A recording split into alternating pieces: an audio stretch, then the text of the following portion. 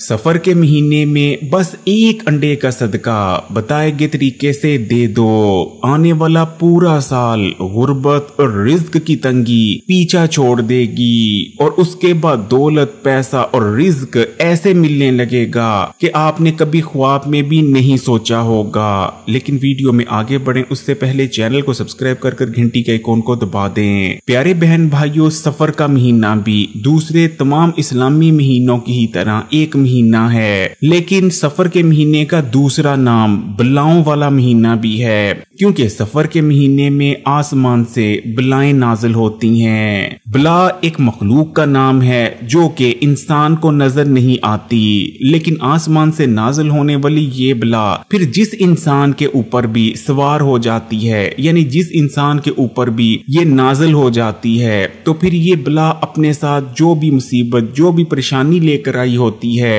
वो तमाम मुसीबतें और परेशानियाँ उस इंसान की ज़िंदगी में आने लगती हैं। जैसे कि कोई बला अपने साथ अगर बीमारी लाई है तो वो शख्स जिसके ऊपर ये बला नाजिल हुई है, वो बीमार रहने लग जाएगा। आपने अक्सर सुना होगा कि डॉक्टर हजरात को समझ नहीं आ रही होती कि मरीज़ को क्या बीमारी है। टेस्ट वगैरह करवाए जाते हैं तो टेस्ट में भी कोई बीमारी नज़र नहीं आती, लेकिन इंसान बीमार से बीमार तर होता चला जाता है। इसी तरह अगर कोई बला अपने साथ गुर्बत लेकर आई है। जब ऐसी बला किसी शख्स पर सवार हो जाती है तो उस शख्स की ज़िंदगी में गुर्बत आने लगेगी रिस्क की तंगी आने लगेगी। फिर चाहे वो शख्स जितना मर्ज़ी दौलतमंद ही क्यों ना हो, जितना मर्ज़ी मेहनती क्यों ना हो, बिल आखिर वो गरीब और तंग दस्त हो जाएगा। उसके पास खाने तक के लिए पैसे नहीं बचेंगे। प्यारे बहन भाइयों, आपने ऐसे लोगों को अपनी ज़िंदगी में ज़रूर देखा होगा, जो अच्छे खासे अमीर होते हैं, खुशहाल होते हैं। उनका अपना घर होता है, उनके पास गाड़ी होती है, उनका कारोबार बहुत ज़्यादा अच्छा चल रहा होता है। लेकिन यक उनकी खुशहाल ज़िंदगी में गुर्बत आ जाती है। उनका घर बिक जाता है, वो किराए के घर पर आ जाते हैं। उनका कारोबार चलना बंद हो जाता है। वो दुकान जहाँ ग्राहकों का रश खत्म नहीं होता, उस दुकान में कोई आने को तैयार नहीं होता। और बिल आखिर वो दौलतमंद शख्स, जो कि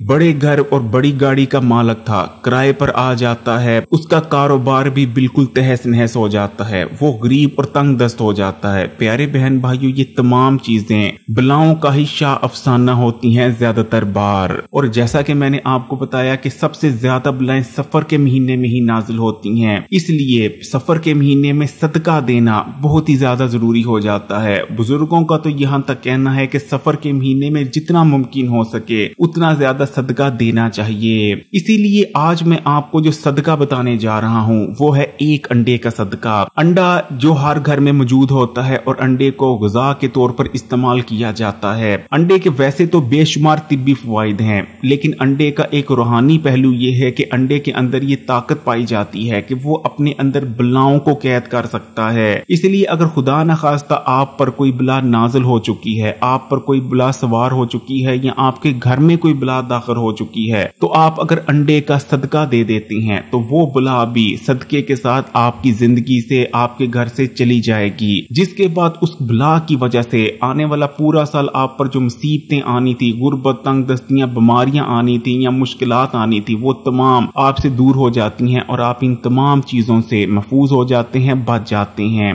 तो प्यारे बहन भाइयों, अंडे का सदका देने के लिए बस आपको एक अंडे की ज़रूरत पड़ेगी। अंडा तो तकरीबन हर घर में मौजूद होता है। अगर आपके घर में अंडा मौजूद है तो ठीक है, वरना आप एक अंडा बाज़ार से लाकर आपने उसी जगह पर घर में रख देना है जहाँ आप बोर्ची खाने में अंडे वगैरह रखते हैं। तो अंडे को आपने घर में ले आना है अगर आपके घर में अंडा मौजूद नहीं, लेकिन अगर आपके घर में पहले से अंडे मौजूद हैं तो बाज़ार से अंडा लाने की ज़रूरत नहीं। तो अब आपने क्या करना है, आपने किसी पाक साफ़ जगह पर बैठ जाना है और सबसे पहले एक बार बिस्मिल्लाह पढ़नी है और उसके बाद आपने तीन बार सूर्य फलक पढ़ लेनी है। सूर्य फलक बहुत छोटी सी सूरा है और इस वक्त आपकी स्क्रीन पर भी आ रही है। जब आप तीन बार सूर्य फलक पढ़ लें तो उसके बाद आपने तीन बार सूर्य नाश भी पढ़ लेनी है। जैसा कि आप देख सकते हैं सूर्य नाश भी बहुत छोटी सी सूरा है। तो आपने तीन बार ही सूर्य फलक और तीन बार ही सूर्य नाश पढ़ लेनी है। सूर्य फलक और सूर्य नाश का पढ़ना बलाओं को टालता है, हमें दुश्मन के शर से बचाता है। अचानक आने वाली मुसीबतों और परेशानियों को हमसे टाल देता है। प्यारे बहन भाई ये सूर्य फलक और सूर्य नाश सबसे ताकतवर सूरतें हैं। जब मुश्किल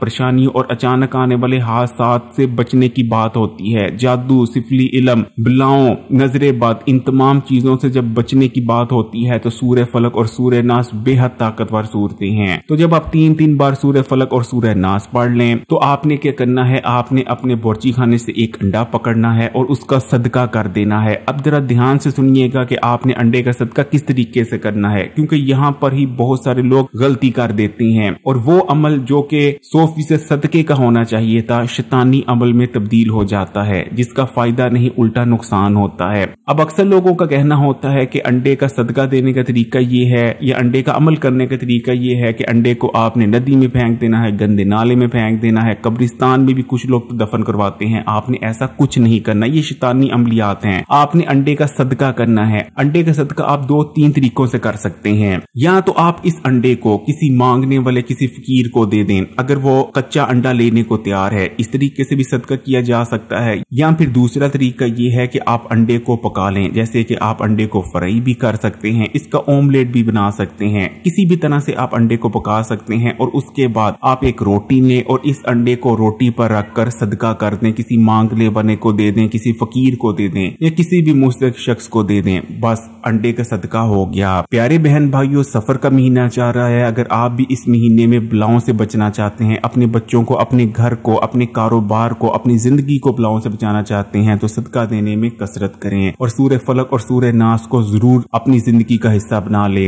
जिस दिन भी आप तीन तीन बार सूर्य फलक और सूर्य नाश पढ़ लेते हैं और दम कर लेते हैं अपने आप पर या अपने घर पर, आप हर किस्म के शर, फिर चाहे वो इंसान का हो या जिन का या किसी और मखलूक का, उससे महफूज हो जाते हैं और अचानक आने वाली मुसीबतों और परेशानियों से भी इस चीज़ को याद रखें कि अगर कोई बला आप पर या आपके घर में किसी पर सवार हो जाती है तो वो अपने साथ जो भी मुसीबतें, परेशानियाँ उलझने लेकर आई होगी, वो तमाम आप लोगों की ज़िंदगी में आने लगेंगी और आपकी खुशियाँ, कामयाबियाँ तमाम उस बला की जो वो मुसीबत लाई है, उसकी नज़र हो जाएँगी। फिर चाहे आप जितनी मर्ज़ी कोशिश कर लें, आप उस बला के शर से आसानी से नहीं बच सकेंगे। इसलिए कोशिश करें कि ना सिर्फ़ माह सफ़र में सदका करें ज़्यादा से ज़्यादा, बल्कि मगरिब की अजान हो जाने के बाद अपने घर का जो आपका मेन दरवाज़ा है, उसको बंद कर लें। जैसे ही आप अजान की आवाज़ सुने, घर के मेन दरवाजे को बंद कर लें, कुंडी लगा लें, बिस्मिल्लाह पढ़कर, और जैसे ही अजान हो जाए, बिस्मिल्लाह पढ़कर आप दरवाजे को खोल सकते हैं। और कोशिश करें कि खासकर सफ़र के महीने में गैर ज़रूरी तौर पर मगरिब के बाद बाहर ना निकलें और खासकर आपके जो छोटे बच्चे हैं, उन्हें तो मगरिब के बाद किसी सूरत भी आपने खेलने के लिए बाहर नहीं भेजना। क्योंकि जो छोटे बच्चे होते हैं, वो क्योंकि कमज़ोर होते हैं तो बहुत ज़्यादा बलाएँ उन पर सवार होने की कोशिश करती हैं। अगर वीडियो अच्छी लगी तो कमेंट्स में